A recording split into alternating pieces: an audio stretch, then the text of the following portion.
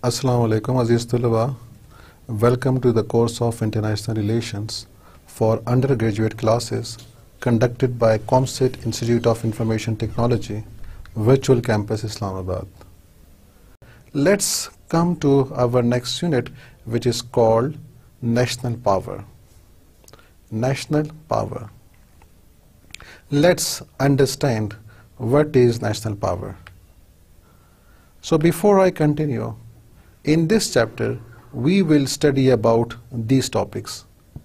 Definition and concept of power, concept of national power, characteristic of national power, elements of national power, the limitations of national power, and finally we would end up this unit.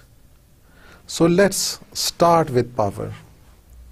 What we mean by power Before this, can I ask you a question that do you like power? क्या आपको ताकत पसंद है जी हाँ नहीं बहुत difficult हो सकता है because no one would say that he or she doesn't like power. Most of us would say, yes, we like power. So, what kind of power? What a person struggle for to get a power? What kind of power a person likes? Because man as an individual struggle for power throughout his life. हम सारे जो हैं जितने भी लोग हैं इनफिराती तौर पे पावर हासिल करने के लिए कोशिश करते हैं ये पावर कैसी पावर हो किस किस्म की पावर हो तो इसमें मुख्तलिफ़ किस्म की पावर्स आ सकती हैं आपको इमेजेस में कुछ पावर्स नज़र आ रही हैं। You may try for physical power and for gaining physical power you will do different types of exercise you will go to gym you will go to club and you will try to get physical power and you will take different kind of diets to take this physical power so this is one power one kind of power for which you may try and you may struggle People also like to have economic power, money power, and for this they work day and night.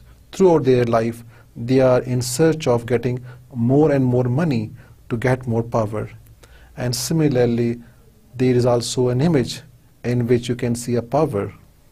What kind of power is shown here? Yes, it's spiritual power.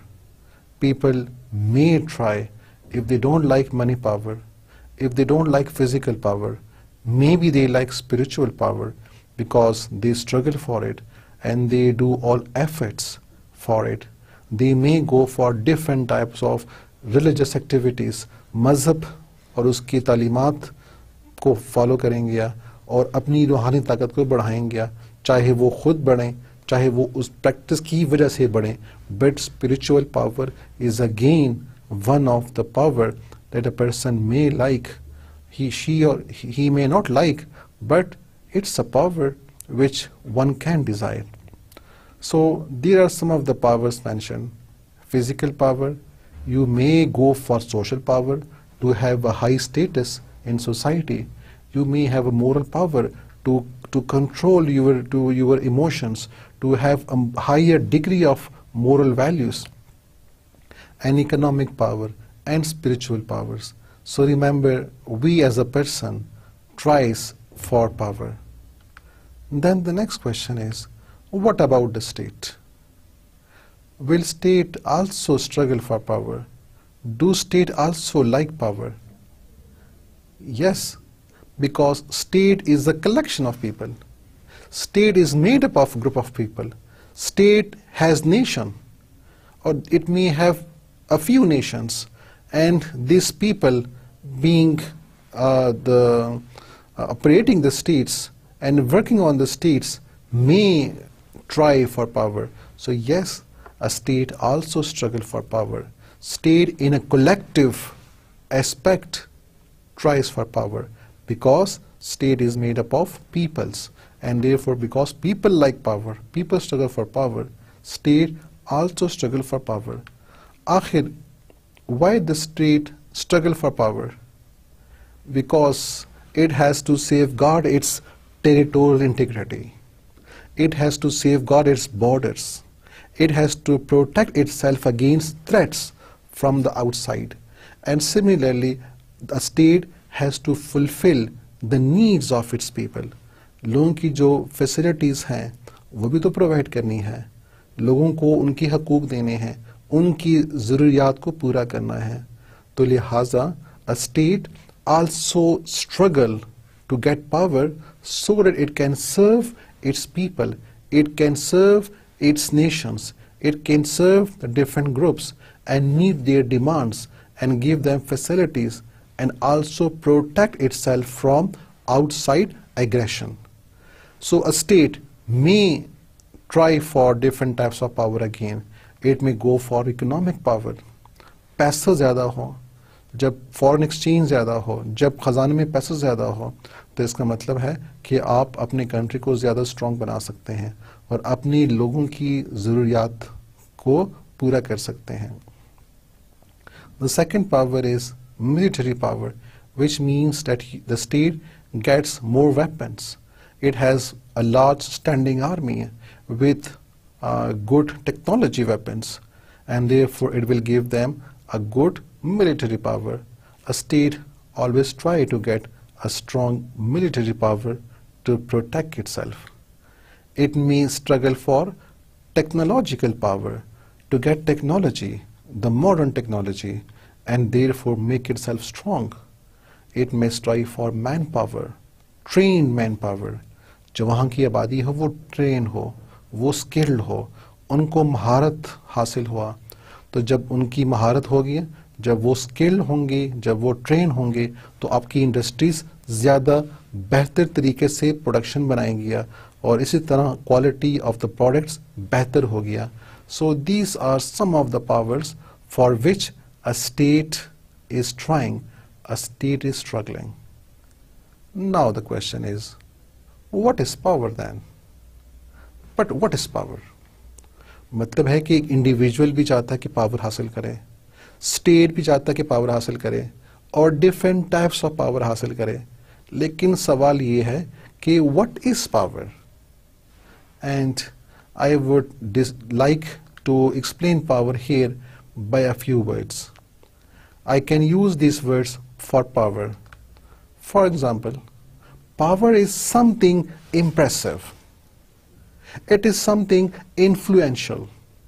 Impressive है मुतासर कर देती है influential है इसका असर है leading है आपको आगे ले जाती है डोमिनेटिंग है आपको गलबा दिलाती है कंट्रोलिंग है power is directing power is imposing power is inspiring power is stimulating so I can use this words to understand what is power let's use some other terms power is also something expressive expressive ऐसी चीजें जो कि नजर आ रही हैं तो power ऐसी भी एबिलिटी रखता है कि एक्सप्रेसिव है नजर आ रही हैं रिवीलिंग है सब कुछ नजर आ रहा है प्रोमिनेंट है नुमाया है सेल्फ एविडेंट है एलिमिनेटिंग है रोशन है so these are some of the words by which I can understand power But still, how to define power?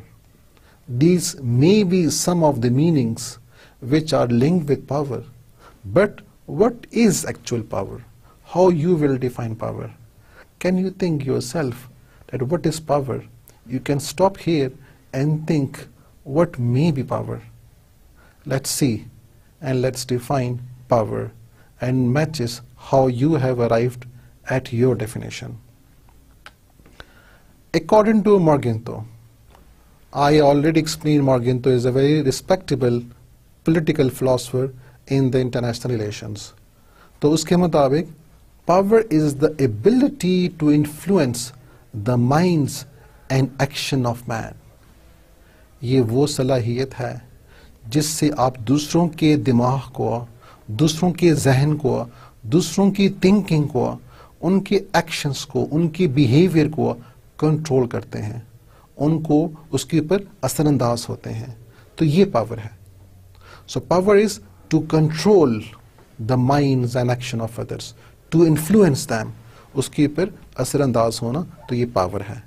अगर आप औरों के जहन और उनके एक्शंस पे असरअंदाज नहीं हो रहे, वो अपना बिहेवियर कर रहे हैं, अपना अमल कर रहे हैं, आप उसको चेंज नहीं कर पा रहे हो this means you are not powerful Because if you are powerful, remember, you can change their behavior. You can change their action. You can change their mind. So this is how a power is.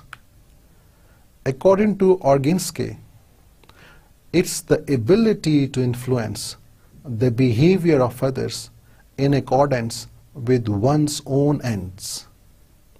Again, it's very closer to the definition of Morgenthau the ability to influence the behavior of others. औरों के रवैयों को उसके ऊपर असरअंदाज होना उसको मुतासर करना अपनी मर्जी के मुताबिक जिस तरह आप चाहें उस तरह आप उनके एक्शंस को उनके बिहेवियर को मुतासर करें तो ये पावर है so remember it's again one of the good definition given by Organski the next is the definition given by Schwarzenberger. According to this author, power is the capacity to impose one's will on others. Power is the capacity to impose one's will on others. अपनी मर्जी दूसरों पे मुसलत करना और अगर वो आपकी मर्जी को ना माने by reliance on effective sanctions in case of non compliance which means कि अपनी मर्ज़ी औरों पे मुसलत करना, और अगर वो आपकी मर्ज़ी को ना माने तो आपके पास ऐसे इख्तियार मौजूद हों, ऐसे इफ़ेक्टिव सेंक्शंस मौजूद हों, ऐसे जवाज़ मौजूद हों, ऐसे मुअसर जवाज़ मौजूद हों, जिससे आप उनको मजबूर कर सकें कि आपकी बात को मान ले। तो पावर वो जवाज़ हैं, वो आपके पास वो अख्तियार हैं, जिसको यूज़ करते हुए आप दूसरों को अपनी मर्ज़ी के मुताबिक चला सकें सो दैट्स अ पावर जिस तरह आप ये समझ लें कि हम बड़े जब बच्चों को ड्राइव करते हैं, बच्चों बच्चों बच्चों की असलाह करते हैं, उनको बात बात करते हैं, वो हमारी बात मानते हैं। This means that you are powerful because the child is accepting whatever you are saying जिस तरह आप चाहो, वो इस तरह कर रहा है। लेकिन अगर बच्चा आपकी बात ना माने और वो अपनी मर्जी करे this means something different then you are better to understand that how much power you have. Let's see. Now the next question is about national power. Earlier we discussed what is power. Now let's come to the question of national power. What do we mean by national power? Very simple. If you speak this word slowly, it's called national power, which means the power of a nation. Power of a nation, because national power. Or if it is the power of a nation, you can also say power of a state. Ek riyasat ki power, because a nation and a state can be interchangeable. So by national power, you may mean very simply, very briefly, it's the power of a nation. But because a nation lives in a state, so it's the power of a state. So that's a simple definition. Let's see how it is defined by others. A state always strives to increase its power. That's how it goes. ये हकीकत है. According to realist, a nation and a state always strive, always struggle to get power. Now the question is, is the power the mean or is the power the end? Before we define what is national power, एक question ये है कि ये जो states हैं जो कि power को हसूल पावर की हसूल के लिए कोशिश कर रहे हैं पावर को पसंद करते हैं पावर को चाहते हैं and state struggle hard to get more power so the question is is the power the mean or is it the end? एक कॉम्प्लेक्स क्वेश्चन है। इसमें कुछ टर्म्स यूज़ हुए हैं। मीन और एंड इसका मतलब पहले क्या है? जब मैं कहूँ कि is the power the mean कि क्या पावर ज़रिया है? आपका अल्टीमेट टारगेट नहीं है। सिर्फ़ एक ज़रिया है कुछ और चीज़ों को हासिल करने के लिए। So this is what we mean by mean काफ़ी गुड टर्म्स आ रही हैं। This is what we mean by mean के by mean we mean that you are using it as a source to get other और जब मैं कहूँ कि power is the end which means कि पावर आपका एंड है तो पावर आपका अल्टीमेट टारगेट है। आप पावर हासिल करना चाहते हैं, ये आपका एंड है। आप जिस रास्ते से पावर को हासिल करेंगे तो वो मीन बन जाएगा। तो क्वेश्चन ये है कि क्या पावर मीन है कि एंड है? एक स्टेट के लिए क्या पावर पावर आखिरी टारगेट है कि नहीं? पावर उसके लिए वो ज़रिया है जिससे वो कुछ और हासिल करना चाहे। एक फिलोसॉफिकल क्वेश्चन है। इसका आंसर ये है।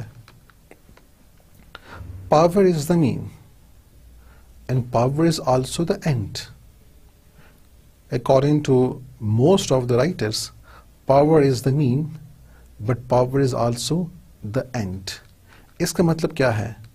इसका मतलब यह है कि the state is trying for power because it is struggling for power. Why struggle for power? Because power can gets you many things.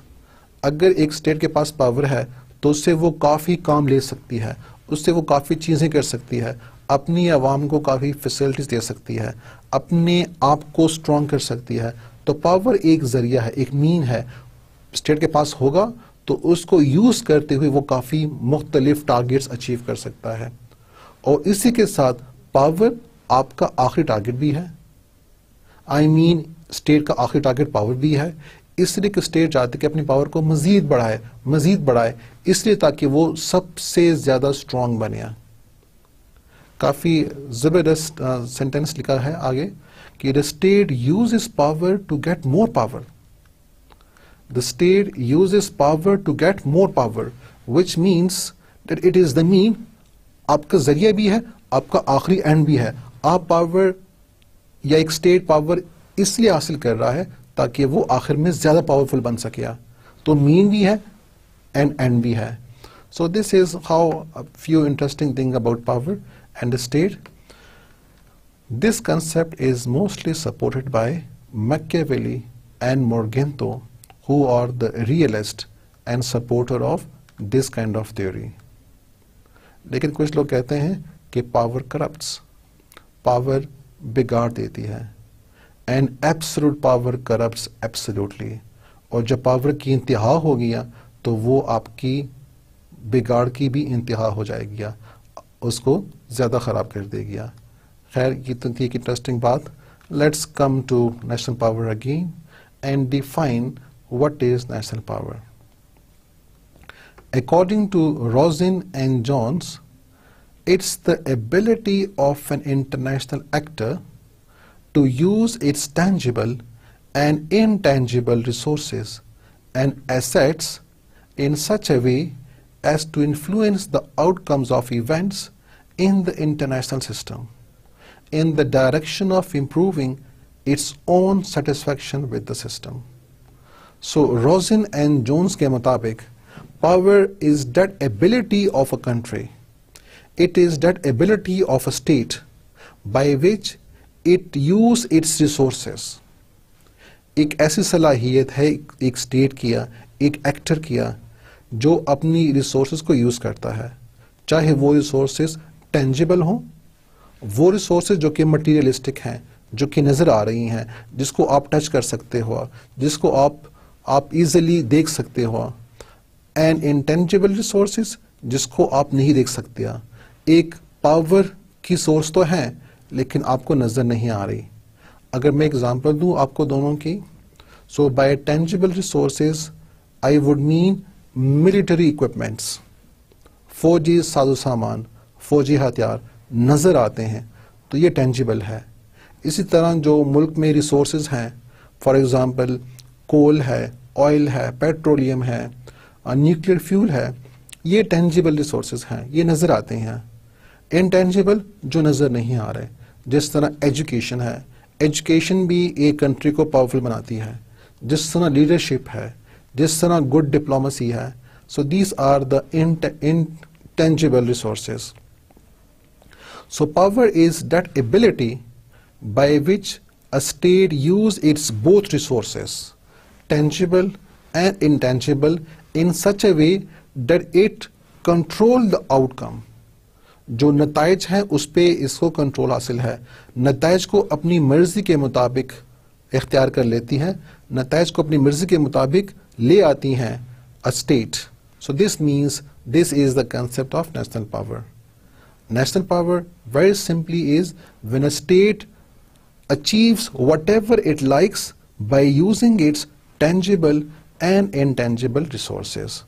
अगर एक स्टेट ने ये कर लिया अपनी मर्जी के मुताबिक अपने टारगेट्स अचीव कर लिए जिस तरह वो चाहती है by using both this kind of resources it would be called national power अगर उन्होंने अचीव नहीं किया remember the national power is less and therefore the targets were not achieved according to their satisfaction. The next is the ability or potential of a state to influence the decision and behavior of other states in international affairs according to its own interest. बात तकरीबन वहीं आती है कि it's the ability of a state to influence the decision and behaviour of others औरों के behaviour को, औरों के एक्शंस को अपनी मर्ज़ी के मुताबिक चेंज करना। This is called national power but यहाँ पे आप किसके बिहेवियर को चेंज कर रहे हो? It should be the action and behaviour of a state So when you are changing the behavior of a state, which means that you are making the state follow the policy that you want, and you change the action of the states, this means that that state would be having more national power who is doing it, and the one who is accepting it and who is following the policy, so that would be called a weak national power. According to Hartman definition, national power denotes the ability of a nation to fulfill national goals. It tells us how much powerful or weaker a particular nation is in securing its national goals. Hartman के मुताबिक again it is the ability of a nation to fulfill its national goals. एक nation अगर अपने अहदाफ हासिल करती है जो उसने गोल्स मुतन किए हैं, अगर अपने उसी गोल्स को वो हासिल कर लेती हैं तो पावरफुल है। अगर एक नेशन अपने मुतन करदा गोल्स को हासिल नहीं कर दिया तो वो पावरफुल नहीं है। And similarly Padelford and Lincoln के मुताबिक national power is that combination of power and capacity of a state which the state uses for fulfilling its national interests and goals. Remember, it's the combination of power and capacity. सलाहियत और ताकत का ऐसा इस्तेमाल जो कि एक state ऐसा यूज़ करे कि अपने कौमी मफाद नेशनल इंटरेस्ट उसको हासिल कर लें या अपने मुतन करदा गोल्स को हासिल कर लें तो इस असना में this would be called national power more simply अगर हम इसको ये कहें कि it is the ability to control the behaviour of other states बाकी रियासतों के बिहेवियर को कंट्रोल करना। एक इंटरनेशनल वर्ल्ड में एक इंटरनेशनल सीन में अगर एक कंट्री अगर एक स्टेट बाकी स्टेट्स को अपनी मर्ज़ी के मुताबिक चला सके और उनसे वो काम करवा सके जो वो मुल्क खुद चाहता है so this means that country would be powerful and the other countries would not be powerful they would be weaker states अगर मैं आपको एग्ज़ाम्पल दे दूँ कि जिस तरह अमेरिका आजकल कर रहा है कि वो जहाँ पे जो जाता है और जिस मुल्क में जैसी पॉलिसी चाहता है तो वो वहाँ पे अमूमन मोस्ट फ्रिक्वेंटली वो कर लेता है और वो वहाँ पे कामयाब हो जाता है। अपनी मुख्तलिफ़ पावर्स को यूज़ करके वो बैन अवी दुनिया में मुख्तलिफ़ स्टेट्स में अपने इंटरेस्ट का दिफा करता है और अपनी मर्ज़ी के मुताबिक वो वहाँ पे नतज हासिल करने की कोशिश करता है तो अमेरिका नेशनल पावर में ज़्यादा है। उसकी नेशनल पावर ज़्यादा